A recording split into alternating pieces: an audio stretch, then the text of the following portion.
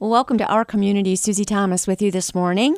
Very happy to welcome back Christy Peters from the American Red Cross. Good morning, Christy. Good morning. So you haven't been busy at all the last, you know, three or four months, right?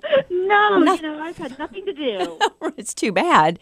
Um, we kid, of course. Wow, what on earth happened? And I cannot even imagine how it has affected the Red Cross and how how you serve and the number of people and who you are serving. So let's talk about all of that. Um, first of all, how are you doing personally? How did how have you been getting along, and how did you get through it? And I guess we're not done with it, but through that the real hard part where we were all hunkered down. How did you do? You know what? Um, I was very fortunate to be able to be home and do okay and continue to work, which was really a huge blessing. And so I'm doing good. Um, I think that my four-year-old is starting to get a little stir crazy, mm. and it's, I'm, I'm, very happy for warm weather so that yes. he can get outside and run off all that energy that's been building up for two months. Did COVID affect the kinds of services that people needed? You know, from the American Red Cross perspective, um, the need for blood and the service to our community never stopped. Mm-hmm. So when COVID first started to happen, unfortunately, we saw thousands of blood drives cancel across the country. Mm. Obviously, once schools closed and once businesses started sending their workers home, that meant the cancellation of blood drives. And so we saw a huge impact just in terms of not being able to collect the amount of blood that we normally would. So I'm guessing there we have kind of a shortage that we're dealing with right now. So yes, right now we do have an urgent need for blood donors. Um, we saw a wonderful response at the beginning of COVID. So many people came out to give when we put out the call. Unfortunately, it's summer, and even though it's a different summer than it's been, I guess, in forever, um, we still have a need for blood, and it's still a difficult time just because people are out and they're busy. Some people are starting to travel, maybe just down the road, but still getting out of their normal routine. And that often means not giving blood as often as they would. And what I keep having to remind myself is COVID is not the only thing happening. People still need blood for all the reasons that they needed blood before. And we just have this COVID on top of everything else that's always been going on. Does that make a difference? That is so true. I mean, there are patients who depend on blood every single week. So they need chronic transfusions. They have a disease such as sickle cell, which requires regular blood transfusions and sometimes more than once a week. Um, you have car accidents mm. that, yes, mm. they might not be happening as much, but they're still happening. And those individuals will come into an emergency room and may need a, a blood transfusion right away. Those that are fighting cancer um, often will receive platelets after receiving chemotherapy because their platelet counts have been depleted and they will need more platelets all of those products only come from volunteer donors who come out and give blood on a regular basis. So, yes, those needs continued uh, despite COVID, and they still continue now. So, you rely on the people who are regular donors. I'm sure you're always recruiting new donors. What do you need to do or be to be a donor? To donate blood, you have to be at least 17 years old. Um, in the state of Ohio, you can be 16 with parental consent and there is a form on our website that you can um, download and print off and have your parents sign if you want to donate. But 17 years old, um, you have to weigh at least 110 pounds and be feeling well on the day of your donation.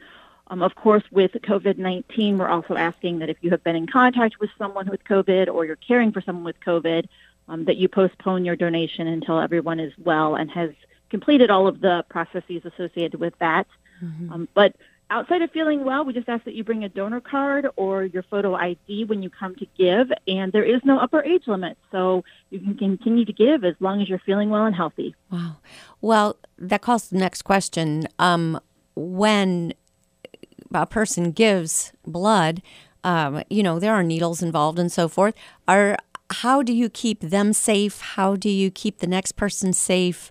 Um, I'm sure you had to in, start doing uh, some new protocols, although it's always been very, very hygienic. But were there any new protocols that you had to put into place as far as people passing each other, even when they're donating? Yes, you know, we realize that it's it's a somewhat scary time and people are nervous, and we want everyone to know that we are doing everything we can to protect not only the donors that come to give, but our staff that are there every day serving, as well as our volunteers. So we have implemented some new safety precautions that we're asking everyone to follow. Um, we are requiring that anyone who comes to donate wear a face covering or mask. If you do not have one when you get to the blood drive, we can provide one for you. Um, you will also have your temperature checked before you enter the blood drive. Um, if you do not meet the temperature threshold, then you will have to postpone your donation. When you come into the drive, we will be having everything spaced six feet apart. So while you're waiting to go into the health history or if you're sitting in the refreshment area, you will be six feet away from everyone around you, as well as trying to space out our beds. We have hand sanitizer at all of our locations throughout the drive in all the different areas.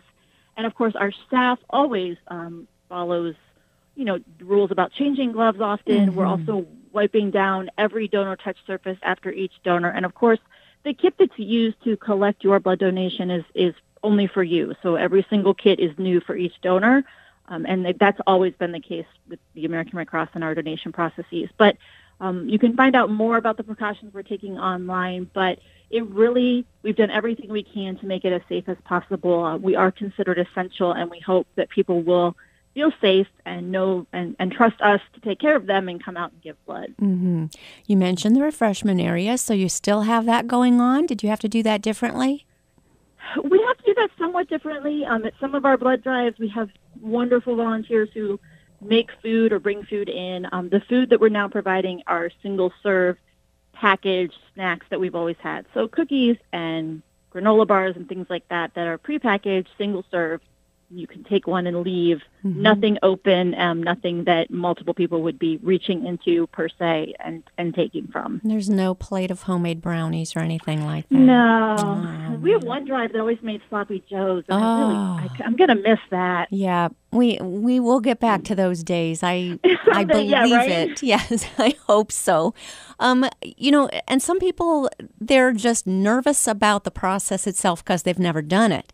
So just walk us through and kind of ease someone's fears. So the entire process takes about an hour from start to finish. Um, as I mentioned, you'll come in and go through those new precautions. Mm-hmm. When you go into our health history, we'll ask you to read some information and then answer questions about um, a variety of topics, places you've traveled, medications you might be taking. Uh, once you get through that, we're going to check your temperature again. We're going to check your iron level, and we're going to just check your blood pressure to make sure that you are healthy and well and, and okay to give. The actual donation, which is the part everyone is most nervous about, is the shortest part. It only takes about 10 minutes for some people, even less than that. Um, and then once you're done donating, you'll move into the refreshment area. We just ask that you sit down for about five minutes, make sure that you're feeling well, get some juice, get some water, and once you feel good, you are welcome to go. So really, it's it's a simple process. I tell people that oftentimes we build it up in our heads to be much worse than it is. Our staff is phenomenal. If you let them know you're a little nervous, they will walk you through. They will talk you through everything that they're doing, let you know what's happening, and make sure you have a good experience. With all the precautions, the bad thing about COVID is so many people are non symptomatic. Um, do we have a way of getting around that? Do you hang on to their blood until we know for sure, like any kind of time period that they haven't come down with it? Or how do you get around that? So the uh, the COVID nineteen is actually transmitted through respiratory droplets. So it's yes. a respiratory disorder. Um, there's been no data and no evidence that COVID 19 can be transfused or transmitted through a blood transfusion. Um, so there is not a concern right now that anyone who may be asymptomatic and donates blood could affect another person, again, because that's not how the disease is transmitted. And so that's, that's, such a relief. I'm so glad to, yes. that you can clarify that. Yes. And so you know, that shouldn't be a concern for anyone who's coming to donate or for anyone who, for some reason, might need a blood transfusion. Um, this is a similar situation that we faced when we were dealing with SARS, which was also a respiratory disorder. So um, because it's respiratory, it's not something that can be transfused or given through the blood transfusion. Why is this so important, Christy? I mean, these are everybody who donates. You're really a hero, aren't you? Because you are making such a difference for someone who needs your blood. Talk to me about that a little bit. You know, I think a lot of people forget that in this age where we kind of have everything at our disposal and it's easy to make something if we need it or get more of it, Um, there is no way to manufacture blood. There's no way to get more if we don't have enough. It only comes from the community stepping forward and helping out their fellow community members and uh, those around them. And if we don't have people who are giving on a regular basis, then we can't meet that need. And I've heard so many people say, especially in the midst of all that's happening, you know, I want to do more and I, and I want to help. And this is a really I guess, easy and quick way that you can give yeah. back and help in your community. And all it costs is an hour of your time. And as you mentioned, you will be impacting lives. I mean, mm. there are still needs in hospitals. Um, as hospitals have started back up and are doing more of surgeries and kind of reducing some of those limitations, we've seen about a 30% increase in the demand for blood. And mm. so the need is there and it's continuing to rise. And so we need more donors to come and give. What's the shelf life? Often, when something bad happens, everybody lines right up and gives, and then it might um, kind of you know peter out a little bit uh, just because life happens and you get busy with other stuff and you it just might not be top of the mind but you're hoping that that blood you gave a couple months ago is still good and can still be used um, what is the shelf life so when you donate your blood, you give one pint, and that pint contains red blood cells, platelets, and plasma. So a hospital might say we want that one pint the way that it is, or they might request that it's separated into its components. Red blood cells last 42 days. Uh, platelets, the ones I was mentioning that often go to cancer patients, mm-hmm. only last five. Platelets are incredibly fragile and they have a very short shelf life, and so they need to be replenished almost constantly. And then plasma can be frozen for up to a year. Wow. But I will say, um, most of the time, the blood that's coming into the American Red Cross is going right back out to hospitals. It's not sitting on a shelf waiting to be used. Um, it is being requested and being sent out pretty quickly. Um, but, you know, we do have the ability to preserve some of that as we can, but of course, it's a finite product, and that's why we have to constantly be asking people to keep giving. Mm-hmm. Plasma is the one that we kind of sometimes there are separate places where people are just going in to donate plasma. Are they? I've seen that like next to a store I shop at. There's like a little there's like a little donation place for just plasma. Is that something connected with you or is that separate? That is actually separate from the American Red Cross. Um, that's a different type of plasma donation. That's not what the American Red Cross would do. Um, mm-hmm. Um, we do only do our plasma donations at our donation centers, so that's not something you would do maybe at your local church blood drive or yes. your community blood drive but you can give plasma at our donation centers. Um, in we have one in Cleveland, we have one in Parma, and we have one in Akron. So you do the separating it out. We just go in and they put the little tube in, and we can look the other way, and then you take it from there. Yes, and Exactly, and not even me because I am not that skilled. So I let someone else do all of that. I let our staff and our manufacturing facility. In fact, if you donated a Red, a Red Cross blood drive here in the Northern Ohio area, whether you're in Canton or Akron or somewhere else, and the same day you donate, it's coming back to our headquarters in Cleveland, and we're going to start processing and sending it out that same day. And then about two to three days later, we're going to get the test results back, and everything, as long as everything looks good, it's going mm-hmm. to be prepped and sent out to hospitals. You make a great spokesperson for it, though. Have you oh, been? Oh, well, have you been giving blood for a long time? You believe in it. You can tell. Well, you know, to be completely honest, I did not know a lot about blood donation until I started working for the American Red Cross.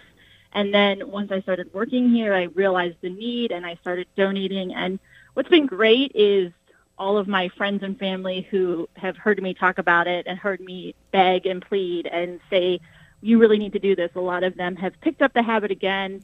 My father, who gave in college, finally started again just um, a few years ago when I started bugging him. So I guess it's something that, like you said, it's not always top of mind. And if you have never needed it or didn't know someone who needed it, you might not even think of it. And oftentimes when I talk to donors or someone who's very passionate, they say, I didn't even realize it until my niece needed to have platelets because she was going through cancer or someone I know was in an accident and needed blood. And now that I know, I want to help and I want to give back. And so that's what we're trying to do is let people know about that need so that they can get involved. And, you know, we have amazing donors that give every 56 days, which is how often you can donate and we have other wonderful donors to give twice a year. So you don't need to be, you know, out every single month donating mm-hmm. blood. Mm-hmm. Once or twice a year would make a huge difference in just maintaining that local blood supply. Yeah. Yeah. We're speaking with Christy Peters from the American Red Cross. Going to take a short break. We'll be back after these words. You're listening to Our Community. Well, welcome back to Our Community. Susie Thomas having a chat with Christy Peters from the American Red Cross. We're talking about the importance of blood donation uh, during this time of a global pandemic that we're going through. Um, where can we donate, Christy? Because I think uh, you mentioned a lot of us are used to, you know, the church blood drive or uh, the school or, you know, different places that we're used to being able to see them, maybe uh, haven't been open. And so we're not quite sure where to go.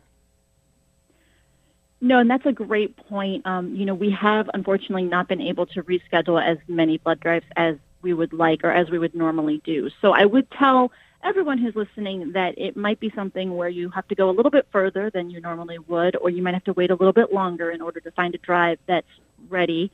Um, we have lots of local community centers that might be closed to the public but have been wonderful enough to open their doors and let us come in. Um, several local libraries are also doing the same thing. Even though they're closed, they're allowing us to host blood drives. Mm. Um, the best place to go for the most up-to-date list is redcrossblood.org. Um, that website allows you to search by your zip code so you can find something that's near you. You can also always call 1 800 Red Cross. And we also have a free blood donor app that you can download to your phone.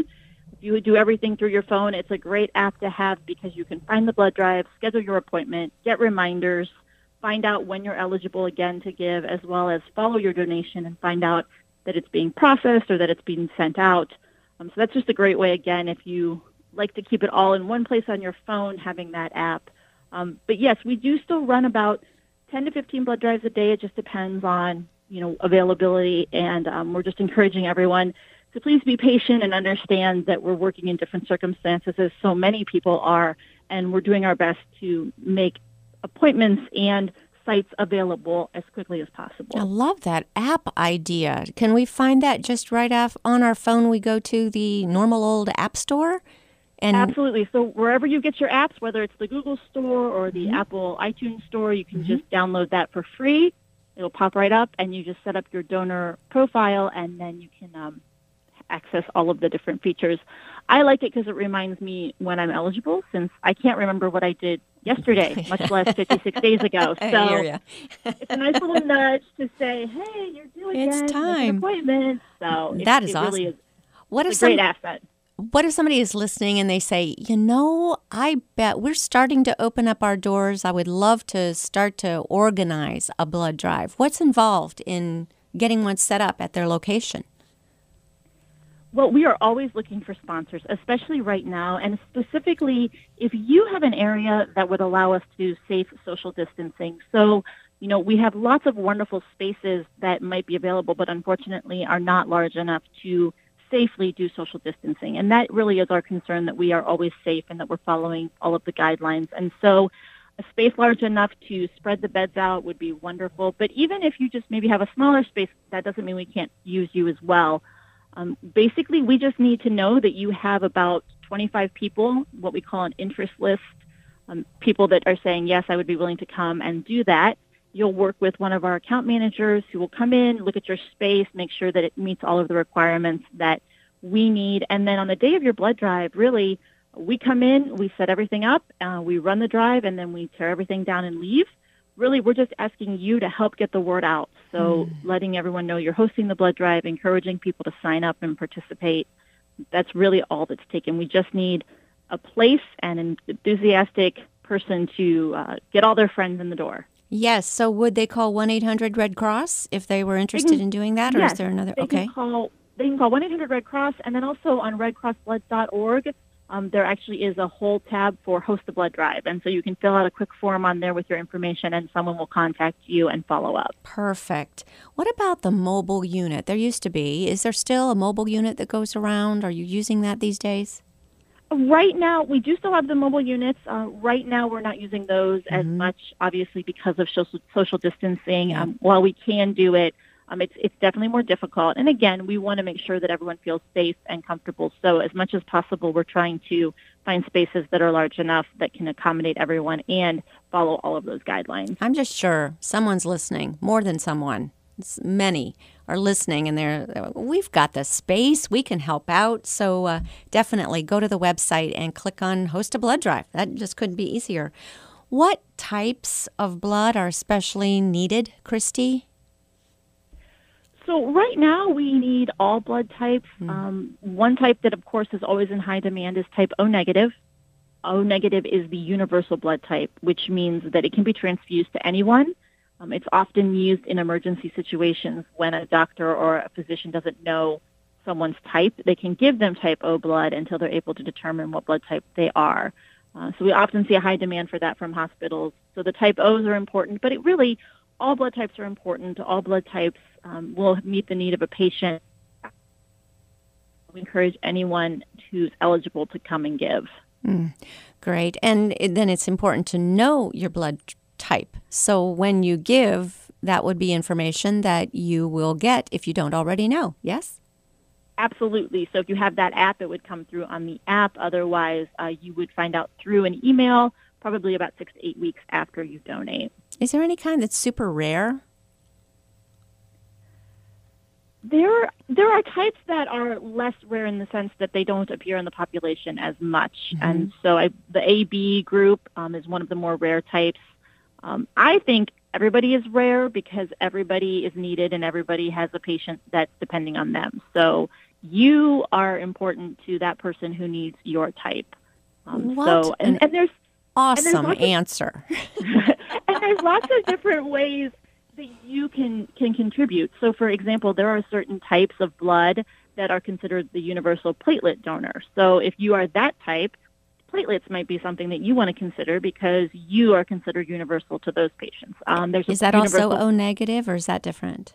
That is different. Um, and I don't know. I should know after all of these years, but That's I don't know okay. all of the specifics to that. But again, there's a great, cool game on the website where you can find out what all the different types are and what they're used for. So um, we talk a lot about uh, the right product for the right patient, and so we really do try as much as possible to encourage people. We want everyone to give, and whatever you want to give mm-hmm. is great for you, and that's fine. And if, if you want to know more about how your specific type can help in different ways, definitely let us know when you come to give and, and we can walk you through that.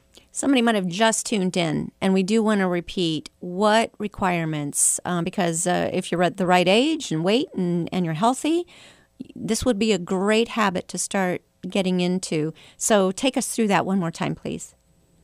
To donate blood, you have to be at least 17 years old. Here in Ohio, you can donate with parental consent. You just have to fill out a form either at the blood drive or prior to coming to give. You need to weigh at least 110 pounds and meet certain height requirements. Uh, there is no upper age limit, and we just ask that you be feeling well on the day of your donation. Um, of course, if you're not feeling well or if you've been around someone who's been exposed to COVID 19 or you've been caring for someone, obviously we would ask you to postpone that donation until you've completed all the necessary processes and quarantines related to that before you come and donate. I'm wondering if there are certain age groups who just seem to be more. Um, intentional about doing this. Do you find that? Is there an older population that well, I even think of, uh, you know, since there's no age limit, World War II veterans or someone that would be super, super aware of this need? Do you find an age group eh, that we're going to need to replace eventually because they've been the real diligent ones? I think exactly what you said. Our older generation, um, as you mentioned, World War II veterans, but that age group, um, they are very dedicated donors. I think they are the people that are coming out every single time that they're eligible. And unfortunately, as we get older, sometimes things change and we have to take certain medications or we're dealing with certain chronic illnesses that would not allow us to donate. And as those individuals get older and face more of those challenges, we need to step up and replace them. So I'm always trying to encourage young people, and we do do high school and college blood drives. Approximately 20% of the blood we collect comes from high school colleges. I know that a lot of high school kids and a lot of college kids aren't sure what's going to happen in the fall. Um, you know, if right. you're interested in, in doing something in that downtime or you're not quite sure what's going to happen, maybe become a volunteer or look at hosting a blood drive. Those are all ways that you can get involved and, and learn about the process and, and give back to your community. But again, start a habit that hopefully will last a lifetime and will help us continue to meet the need as those people that have been giving for so long might not be able to. Mm-hmm. What kind of other volunteer opportunities do you have? Right now, we have a new position that was created because of COVID 19, which we're calling the blood screener. So, this is the person at the blood drive who is taking the temperatures when people come through the door. Um, this is a forehead scan temperature, so we're not asking you to, you know, do the oral temp or anything like mm-hmm. that, but you simply mm-hmm. sit at the blood drive, take someone's temperature, make sure that they're okay, and direct them on.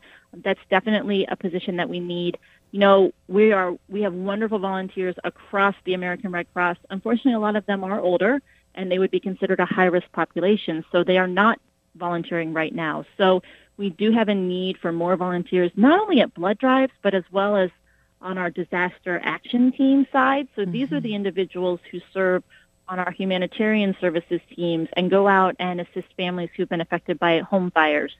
Um, mm-hmm. So if you've ever uh, sadly heard of this or experienced it, if someone does have a home fire, the Red Cross is usually on site to help them find housing and just make sure that they're okay for that evening and then follow up with them. All of that work is done by volunteers. And of course, we've taken new precautions in the midst of COVID to protect those volunteers and those clients as well, but we still need the volunteers. So if you are healthy and able and want to give back, there's plenty of opportunities. And again, the website, which is redcross.org, there's a whole tab on volunteering, gives you all the information and talks about the various opportunities um, that would be a wonderful way that you could help the Red Cross right now as well. You really are on the scene as soon as something happens. And we, again, we need to remind ourselves that COVID 19 is not the only thing going on in the world. There are still personal tragedies, as you mentioned, with house fires or, you know, different countries go through, you know, weather events and different things that can really uh, just wreak havoc in, in people's personal lives. And the Red Cross is so awesome to be there. Um, there was a way, and I'm probably asking you something that's not fair. There was a way to donate to the Red Cross often where you just text a number. Does that still take place? Uh, usually, after some kind of a disaster, they'll announce if you text whatever amount to such and such a number, that'll go straight to the Red Cross. Is that something that's still in place, or does that just happen as the need happens? I believe that it is still in place, but I don't know what the. I want to say it's text give to 90999, but I would encourage people to go to the website and double check me on that mm-hmm. before mm-hmm. they actually do it. I don't want to send anyone's funds to some random place. But right. you know, right in the in the midst of everything that's going on, you know, people forget we're also right on the cusp of hurricane season. Yes, uh, we've already seen flooding in um, Michigan. Had horrible historic flooding in terms of their dams breaking, as well as flooding here in Ohio. Uh, we don't see hurricanes, but we definitely respond to hurricanes across the country. And so those disasters won't stop because of COVID. Right. And we're going to need not only people that can help, but funds that can help to rebuild in those communities and just assist all of those individuals who might be affected. So um, disasters don't stop, and the Red Cross doesn't stop because of COVID, and the caring doesn't stop. So the need is always there for blood. Um, if you're able to give financially, of course, that's a huge help. Mm-hmm. If you want to volunteer to go to those places when those types of disasters happen, um, that's an opportunity as well. So, yes, it's one of those things. It just it just keeps going, and you you keep adjusting, and you keep doing what you need to do so that you can meet the need. Great reminder. Do go to the website for the Red Cross or call 1 800 Red Cross. Christy Peters, thank you so much for all you do in our community. Thank you so much for having me.